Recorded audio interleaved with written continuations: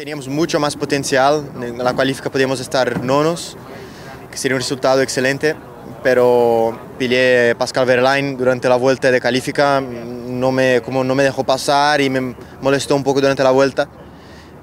Con eso me quedé décimo tercero, pero después quien tomó una penalización fui yo por, bloquear Bohemi en otro momento la sesión.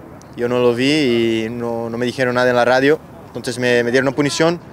De décimo tercero tuve que lagar el décimo nono, que es prácticamente último, y a partir de ahí muy difícil escalar el grid y conquistar posiciones, porque no tenemos condiciones muy óptimas en la carrera. Nuestra sesión mejor es el la cualifica, entonces si, no la aprovechamos o si hay una penalización, uh, se complican las cosas.